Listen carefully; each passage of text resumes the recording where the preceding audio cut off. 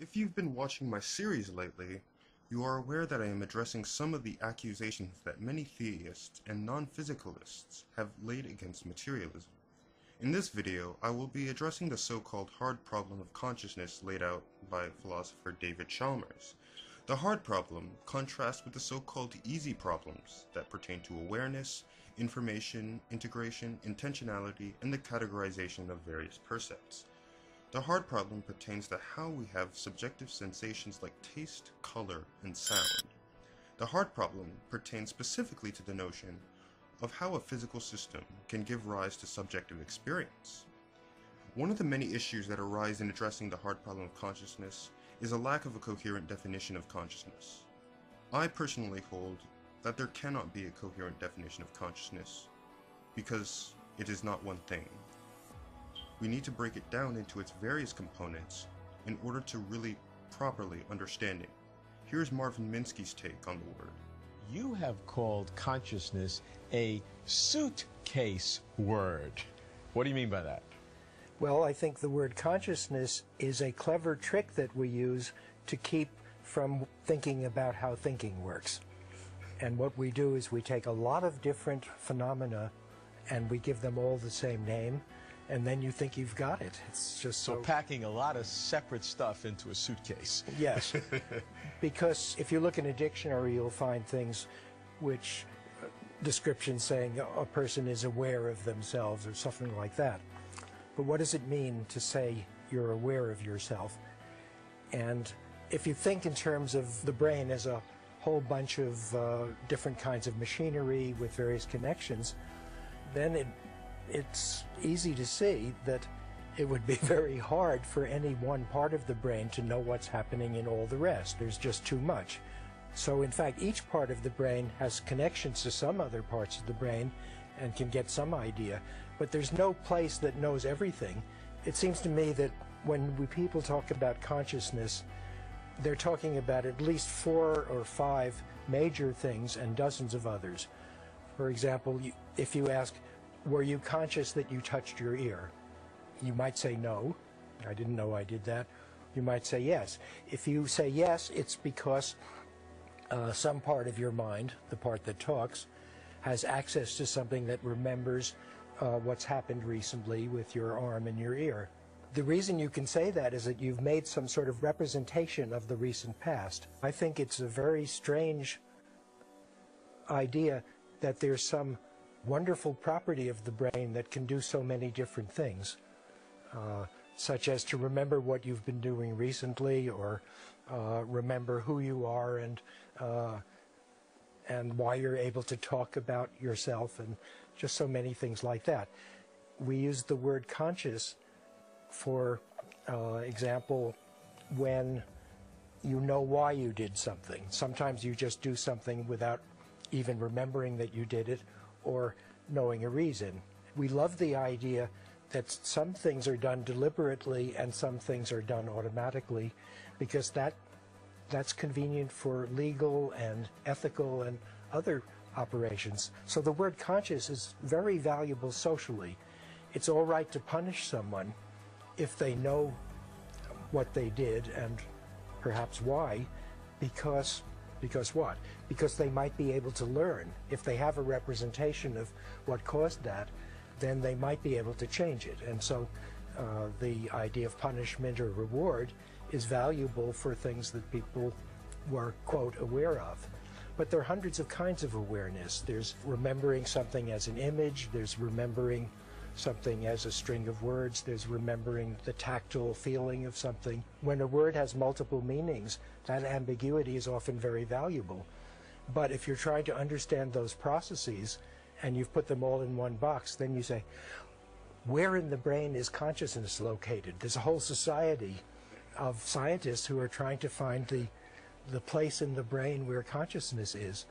But if it's a suitcase and it's just a word for many different processes, they're wasting their time. Minsky's idea is that consciousness is not just a unified phenomenon. It's the sum of various interrelated processes in the brain. In fact, we need to come to grips with the fact that consciousness is not something that takes place in one single central processing unit. of the brain, as this brings back the notion of a soul or a homunculus or some sort of intrinsic persistent self that receives the sense data.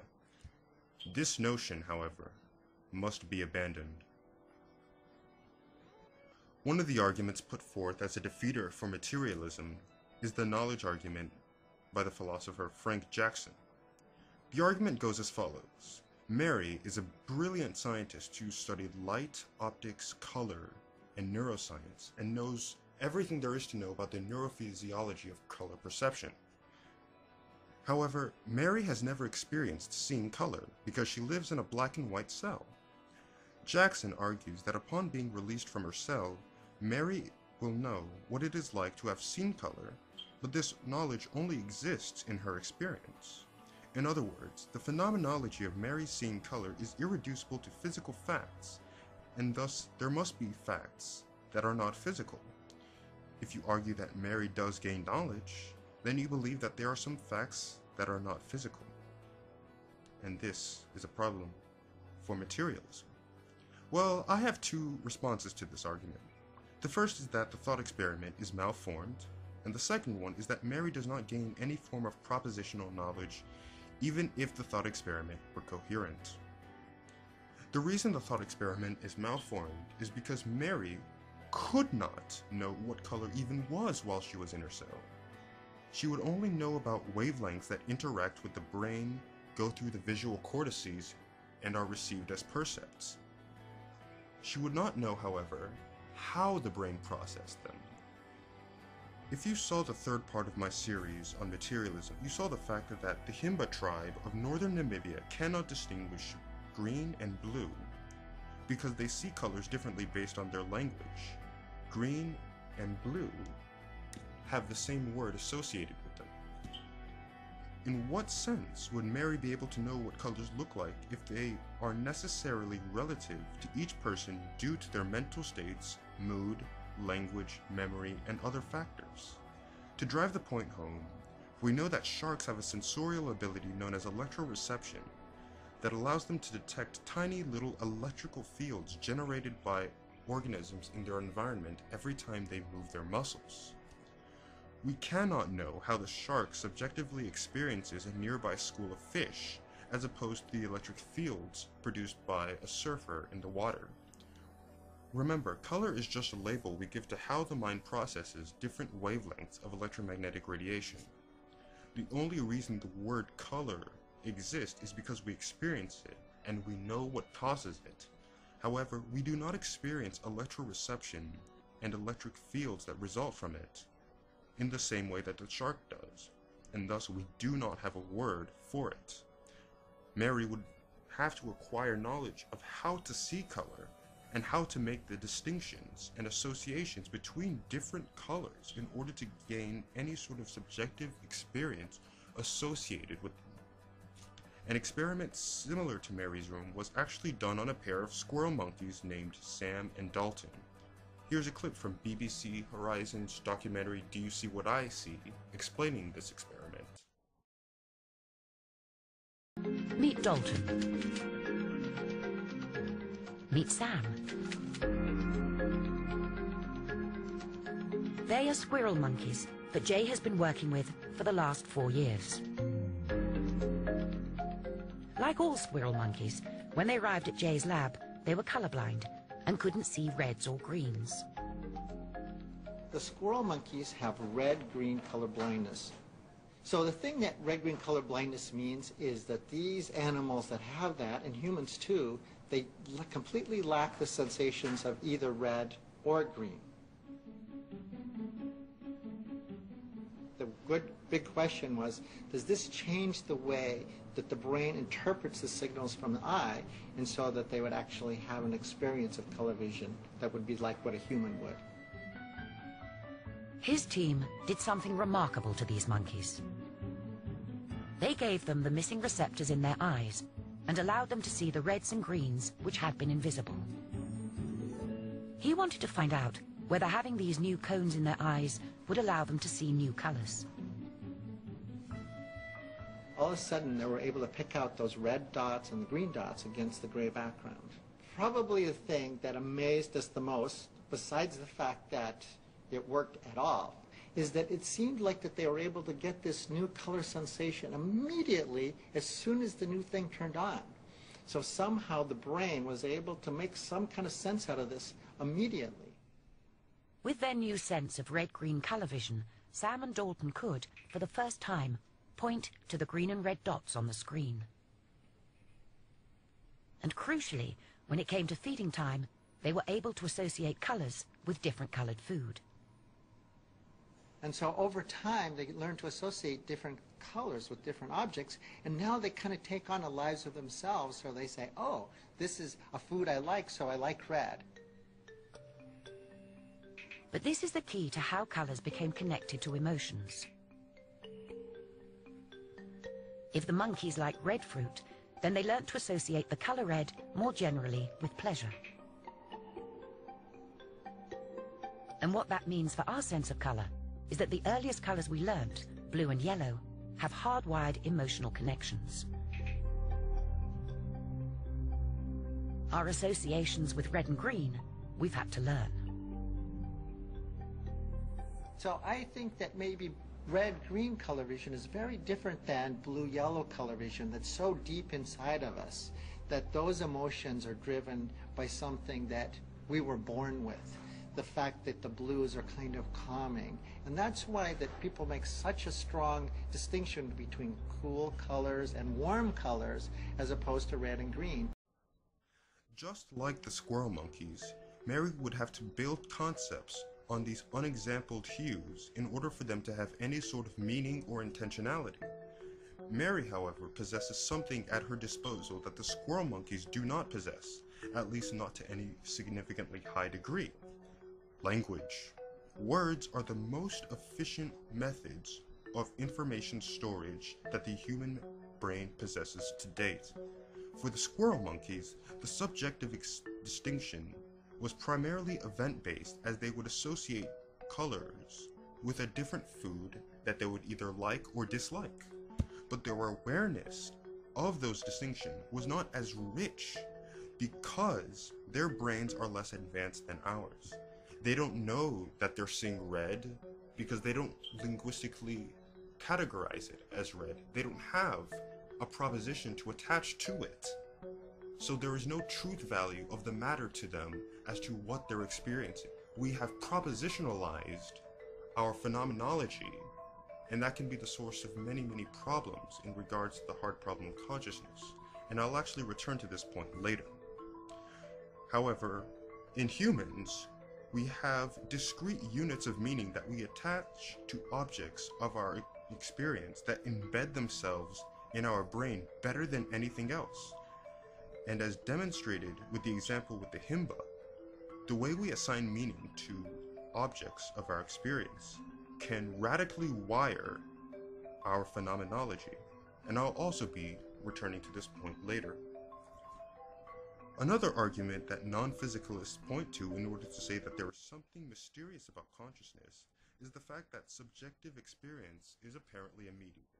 The hard problem of consciousness is not addressed by evolution, as it fails to explain how things like qualia can form from purely physical processes. Just when I think you've said the stupidest thing ever, you keep talking. This, I'm afraid, is also an illusion. I'm not talking about the transformation of signals in the brain into mental content. I am talking about the actual subjective experience that people point to as mysterious. This subjective experience that people talk about is also something that has to develop in stages. Here is Yale neurologist Steve Novella on Intelligence Squared with Sean Carroll, explaining how Capgras syndrome is an example of the lack of immediacy of our subjective experience. But let me just tell you about one very interesting neurological phenomenon called Capgras syndrome. This is a syndrome in which, um, well, I'll give you, I'll, I'll, back up a little bit. So uh, when you're looking at, let's say, the face of your wife or your spouse, um, What's falling on your retina is just shapes and shadows and colors and lines. But the, your brain has to construct that into an actual image. But then it also has to give meaning to the image. It has to tell you that these shapes are in fact a face. And then another part of the brain tells you, that's not just any face, that's the face I know well. That's the face of my spouse, the face of my wife. Now, assuming, however, you have feelings about your wife, let's assume that, then there's also a connection between that part of your brain that tells you that that face is your wife to the limbic system. That's the emotional part of your brain. And that connects your emotions, your feelings about your wife to that image. When you see your wife, those feelings are connected to it. These are all circuits that are happening demonstrably in your brain. Now, in Capgras syndrome, that last connection is broken by a stroke, by damage, by something. So when someone sees their spouse, they recognize them as their spouse, but the feelings aren't there.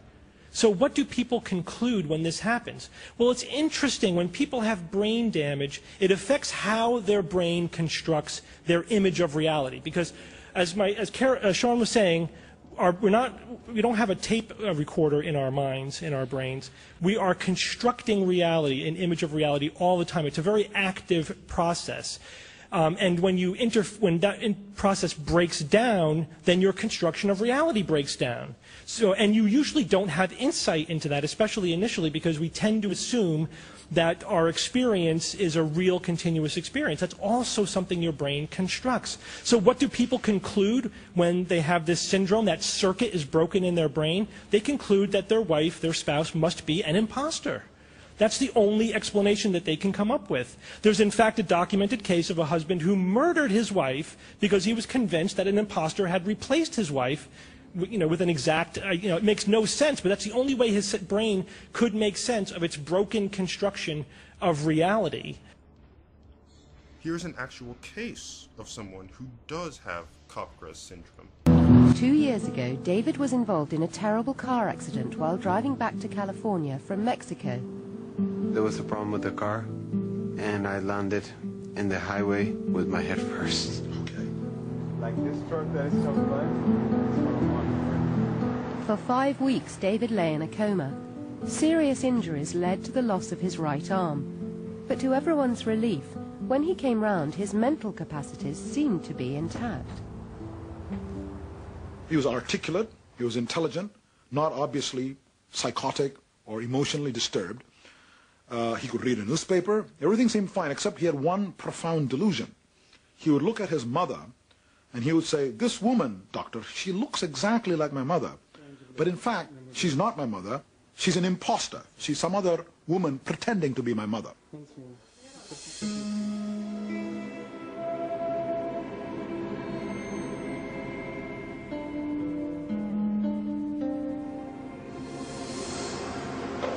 The injury to the temporal lobes of David's brain had brought on a very rare condition called the Capgras delusion. The Capgras delusion is a tragic revelation of the vital role played by our emotions in the act of recognition. I was cooking dinner, and he probably didn't like the food that night. Okay. And, and he said, you know, the lady who comes in the morning, she cooks much better than you. It's a, it's that lady. I like that lady very much. but the lady was me, of course, all the time. David was also convinced that his father was an impostor. He would say to his dad, you know, I'm sure you would like to meet this guy. I'm going to let you know this man because I'm sure you'll like it. He looks so much like you, but he drives better. He doesn't go so fast. I would like you to meet him because he looks a lot like you.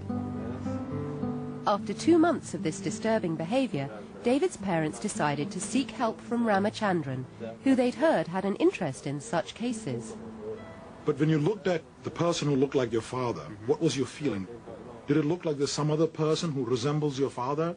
Is not really your father, something like that? Exactly. There's a difference of the fact that I know that that person happens not to be my father. Uh-huh. What was going on? Why was this gentleman there who, who looked like your father? If somebody who looks identical right. or very close to my father or my mother, the fact that that person it is not my father or my mother, right? Okay. I don't expect things from that person as I would expect from my parents. The associativity given to the experience is what is responsible for the subjectivity. Ask yourself, are you hearing words right now? The answer is no. I pointed this out in the first part of my series on materialism. As you are listening to my voice, the primary auditory cortex in the temporal lobe of your brain is processing the mechanical oscillations going into your ear from the audio device you're using to listen to this videos. These waves are processed as sounds specifically corresponding to utterances made in the English language in such a way that you understand what I'm saying to you as I say it. However, the mechanical waves by which I convey the words I speak have no intrinsic meaning prior to their being understood by a hearer. They don't even exist as sound prior to their being understood by a hearer. The subjective experience of hearing these sounds is comprehending them as words that are a part of the English language in such a way that you understand what I'm saying to you as I say it almost immediately. But one must remember that it is not immediate. If you take various parts of the brain out, you don't see that, you don't hear that, and you don't taste that. You don't taste anything in some cases. There are multiple layers of processing that go into this phenomenon. So, the immediacy of comprehending these words, just like the notion of a intrinsic persistent self, is also illusory. In the next video, I'll discuss a concept known as the given, and I'll discuss the degrees of givenness of particular subjective qualitative percepts. Stay tuned.